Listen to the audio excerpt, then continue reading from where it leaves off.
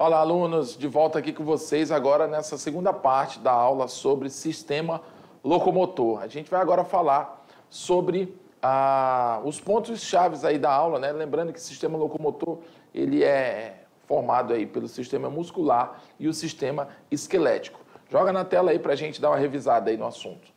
Vamos lá então, aula 50.2, sistema locomotor. Bom, aqui de cara a gente tem os dois tipos né, de, de, de sistemas em destaque. Opa. Isso, voltando aqui. Os dois tipos de sistema em destaque, né? O sistema esquelético e o sistema muscular. Você já consegue perceber que o sistema esquelético é formado aí pelos ossos, né? ficam por baixo ali dos músculos, é eles que dão sustentação para o nosso organismo. Se não fosse o sistema esquelético, os músculos, né, o sistema é, muscular seria uma pilha de, de músculos amontoadas. Né? Agora, também, se não fosse o sistema muscular, não teria como o esqueleto realizar movimentos. Né? Então, o sistema muscular, ah, ele aí reveste, digamos assim, o, o, o sistema esquelético. Mas, enfim, no sistema esquelético a gente vai achar aí articulações móveis, ou seja, são é, estruturas ósseas que se encontram em determinadas partes né, e são denominadas articulações. O encontro entre dois ossos é uma articulação. Quando ele tem uh, uh, uma mobilidade, né, a gente chama de articulação móvel. Tá? Geralmente, nessa, nesses, nesses encontros ósseos, tem ali uma, um revestimento de cartilagem, né? O osso ele dificilmente ele vai se encontrar de uma forma é, simples, assim, seca, né? Sempre onde tem encontro de ossos tem algum tipo de material que amortece esse tipo de impacto, tá bom? E até mesmo para líquidos sinoviais que vão lubrificar essa articulação para que ela seja, para que ela se mantenha intacta aí no decorrer da vida do indivíduo. Até porque a gente não não só articulam determinada parte do corpo uma vez na vida, né? A gente passa a vida todinha articulando. Então, articulações móveis, tá? São aquelas, são encontros entre ossos que existem mobilidades aí.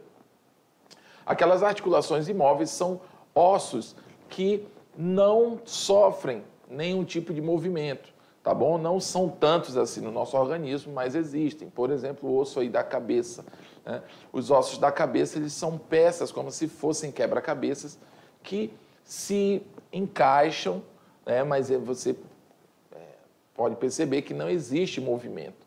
Tá? Eles funcionam aí como uma. Aliás, eles são colados, aí são juntos, com uma, uma cartilagem que tem uma certa mobilidade quando a gente é pequeno, quando é criança, mas com o passar do tempo, essa articulação essa colagem, digamos assim, vai se consolidando. Então é um encontro de ossos, mas que não tem mobilidade. Tá bom? Com relação aos músculos, a gente tem ali o, a parte, digamos, é, a parte visceral do corpo, né? É, a gente tem três músculos em destaques aqui. O músculo cardíaco, que é um músculo que forma o coração e é um, um, músculo do pericárdio, no caso, né? é um músculo com, com um movimento involuntário. Né? O músculo esquelético, que são os músculos que permitem o movimento do esqueleto, né? com as suas inserções nos locais devidos, que são através dos tendões. Esse músculo esquelético ele possui movimento voluntário, ou seja, a gente controla a ação desses músculos. E o músculo liso, né, que é um músculo fusiforme, que é esse formato que você está vendo, ele geralmente está associado, aí, por exemplo, às células do nosso intestino. São músculos que têm movimentos involuntários, ou seja, eles agem sozinhos, né, pela própria necessidade, porém não são movimentos muito rápidos, são movimentos mais lentos. Também as vias respiratórias também é, apresentam tipos de movimentos assim.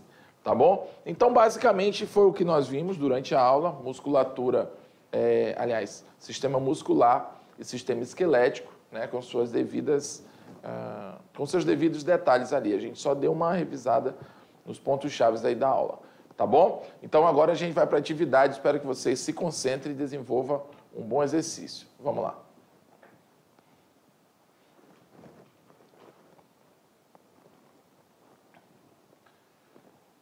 Então estamos aqui de volta, né? Vocês acabaram de ter um tempo aí que com certeza dá para vocês resolverem a atividade que foi, dada que é uma, o nível dessa atividade não é um nível tão complexo. Né? E detalhe, nós acabamos de ver o que você fez, né? a atividade, então está mais fresquinho assim na sua, na, sua, na sua mente todo o assunto, ok? Espero que você tenha conseguido desenvolver uh, essa atividade de forma tranquila, porque durante a aula nós falamos bastante sobre a questão do sistema esquelético, sistema é, muscular, a importância né, do, do, sistema esquelético para o sistema muscular e a importância do sistema muscular para o sistema esquelético, enfim, é o, essa, os dois formam um sistema locomotor que permitem aí a mobilidade do nosso corpo. Né? Mas vamos lá, vamos lá para a primeira questão, ver o que, que tem para a gente discutir aí. Ui. Apertei sem querer, pessoal. Bom, faz de conta que não sabe, né? De acordo com o nosso processo digestivo, qual o nome do movimento que permite a trajetória da comida em nossos organismos? Ah, vou colocar, já tinha colocado, né? Bom, é o movimento peristáltico, tá bom? Esse movimento peristáltico é um movimento realizado unidirecionalmente, tá? E acontece em músculos lisos, tá? Músculos lisos. A musculatura lisa, né? Ela realiza movimentos involuntários, tá? E isso vai fazer o quê? Isso faz com que esses músculos que é, formam aí intestinos, o, o tubo digestório, né? Ah, algumas partes aí do nosso, do nosso sistema respiratório, tá? Eles são movimentos, aliás, eles são, são, são músculos, pessoal, que é, vão, é como se eles empurrassem, né? O, o, o conteúdo, né? Numa determinada direção, sem você precisar se concentrar nessa, nesse, nesse movimento. Por exemplo, quando você come, você engole uma coisa e aquele alimento cai no esôfago. A tendência desse músculo que forma o esôfago, a tendência dele é o que? A musculatura lisa é realizar um movimento peristáltico, ou seja, ele vai sempre empurrar esse, esse bolo alimentar na direção uh, eh, para baixo, digamos, ou numa única direção entendeu? Então, esses músculos que realizam movimentos peristálticos, eles são músculos lisos que não dependem da nossa, da nossa vontade para acontecer, tá bom? Então, você está aí agora assistindo essa aula e o seu intestino está trabalhando, né, num determinado sentido, né, para que você depois né, vá no banheiro e eliminar aí as fezes preparadas pelo sistema digestório, entendeu? Então a gente, a comida entra pela boca, sai pelo ânus e não, nós não controlamos isso. Isso é o próprio movimento peristáltico que cuida desse sentido da alimentação dentro da gente. A mesma coisa nos brônquios, no útero, né? Da mulher também isso acontece. Então, esses movimentos são involuntários, são chamados movimentos peristálticos. Dois, no músculo estriado esquelético, nos músculos estriados esqueléticos, os ossos atuam como alavancas e permitem a efetivação do movimento. O efetivo movimento muscular é possível graças a que tipo de trabalho é realizado por estes músculos? A. Trabalho forçado. B. Trabalho direcionado. C trabalho muscular. D. Trabalho antagônico. E. Trabalho cardíaco. Existe um, a gente falou isso durante a aula, um trabalho que ele possibilita o movimento é, acontecer em uma determinada direção e depois ele voltar para onde ele estava, entendeu? Então, esse movimento né, é o trabalho antagônico, ou seja, existe um músculo que faz o movimento acontecer, mas existe outro que faz o trabalho antagônico. Ou seja, se não fosse esse trabalho antagônico, o, o músculo faria um determinado movimento e não desfaria ele. Então, existe um trabalho antagônico para acontecer o movimento muscular. Né? Então, nos músculos estriados esqueléticos, os ossos atuam como alavancas e permitem a efetivação do movimento. E o efetivo movimento muscular é possível graças ao trabalho é, antagônico. Tá bom? Então, letra D, número 2. 3. Denominamos de articulações os locais onde dois ossos encontram-se. As articulações podem ser móveis ou não, sendo que no primeiro caso, elas permitem o movimento dos ossos. Esse movimento ocorre suavemente, sem que ocorra o desgaste dos ossos, graças à presença de. Bom, ainda há pouco, ainda na revisão eu falei isso. Toda vez que um osso se encontra com outro, dificilmente eles se batem é assim de uma forma seca, né? principalmente nas articulações móveis. Por quê? Porque aquilo vai ficar se mexendo o tempo todo. Então teria muito atrito entre esses dois ossos se não houvesse alguma coisa lubrificando aquilo ou suavizando aquele contato. Tá? E essas extremidades que se encontram, elas geralmente é, são revestidas por algum tipo de tecido mais, mais leve, né? mais esponjoso, digamos assim. Que tecido seria esse? Tecido muscular nas suas extremidades, dos ossos, no caso, né? na extremidade dos ossos. Tecido nervoso nas suas extremidades. Tecido epitelial nas suas extremidades. Graças à presença de tecido cartilaginoso nas suas extremidades. Ou graças ao tecido adiposo nas suas extremidades. Hã? No que diz respeito ao, aos ossos, pessoal, o tecido é o cartilaginoso. O tecido cartilaginoso ele é como se fosse uma espécie de osso em formação. Osso em formação, tá? Ele é um, um, um tecido mais menos denso do que o osso, mais esponjoso, mais maleável. Então ele funciona ali como uma espécie de amortecedor né, e lubrificante. Então aqueles ossos vão ficar se ah, se movimentando ali, aquele encontro de ossos vai ficar atritando. Então, para que não haja um desgaste, os ossos é, têm uma, uma, a presença de tecido cartilaginoso para minimizar esse atrito, né? os problemas que esse atrito poderia causar. Então, letra D, de doido. Quatro, o que são movimentos peristálticos? Essa aí a gente falou ainda há pouco, né? a resposta da primeira questão falava sobre sistema, é, movimentos peristálticos. Movimentos peristálticos são aqueles movimentos é, unidirecionais realizados por musculatura aí, geralmente lisa. Né? E não são movimentos tão rápidos, são movimentos lentos. Vamos ver aqui o que, que tem para a gente é, conceituar. Né? São movimentos lentos, involuntários, realizados pelos músculos não estriados, que a gente chama de músculos lisos. São importantes na digestão, engolimento, contração dos vasos sanguíneos, por exemplo. Né?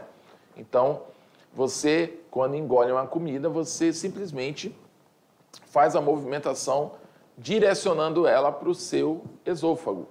Dali em diante, você não concentra mais força nenhuma para que aquilo vá para baixo. Ele automaticamente pega o, o, ritmo do músculo, que aquele músculo vai sempre direcionar num, num sentido único. Né? Contração dos vasos também na né? musculatura faz aí o, o a, permite que aconteça a circulação sanguínea justamente pela movimentação dos músculos involuntários. Vão sempre promovendo a direção é, única né, do, do sistema sanguíneo. Então, essa é a questão número 4. 5. Considere os seguintes músculos: lisos, responsáveis pelo peristaltismo,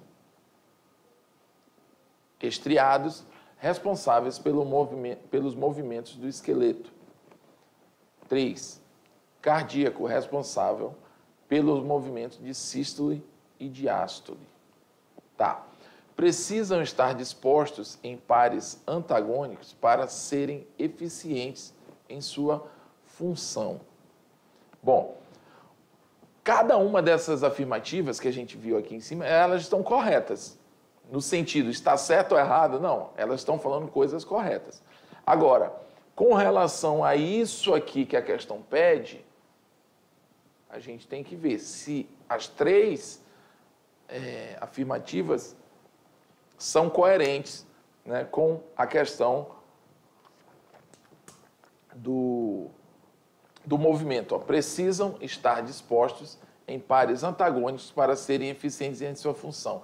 Então, quem que precisa estar disposto nessa aquilo que eu falei? Sempre tem um músculo para fazer, para realizar o movimento e outro para voltar esse órgão para o local que ele estava. Então é necessário um músculo que puxe, digamos assim, numa linguagem mais popular, e outro mais e outro que puxe, que ele puxe para cima, e quando eu relaxar, outro músculo que vai puxar ele para baixo.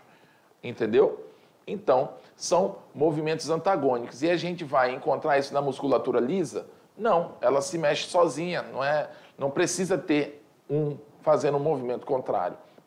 A mesma coisa é no músculo cardíaco, responsável por sístole e diástole, que é contração e relaxamento, respectivamente, do coração. Sístole, contração, diástole, é, relaxamento do coração.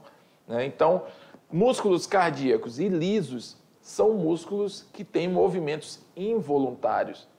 Os únicos movimentos voluntários são nos, nos, nos músculos estriados é, esqueléticos, no caso, né, que são responsáveis pelo movimento do esqueleto. Que para eles agirem, eles precisam estar dispostos em pares, né, antagônicos, para serem, para serem eficientes em sua função. Portanto, só dois, né, ou dois somente, é que está é, em coerência com o que a questão está pedindo aqui em negrito. Tá bom, pessoal? Essa aí foi nossa aula sobre sistema locomotor, ok? Falamos sobre o sistema esquelético e o sistema muscular. Como eu já falei antes, você viu a importância do sistema esquelético para o muscular e a importância do muscular para o sistema esquelético, tá bom? Essa foi nossa aula de hoje, lembrando que essa aqui já é o final da aula 50. Temos aí só algumas poucas aulas pela frente, tá? Mas enquanto a gente estiver aqui, a gente vai estar passando conhecimento, a gente vai estar colaborando com você até os últimos minutos aí. Tá bom? Vamos lá para a próxima aula. Valeu!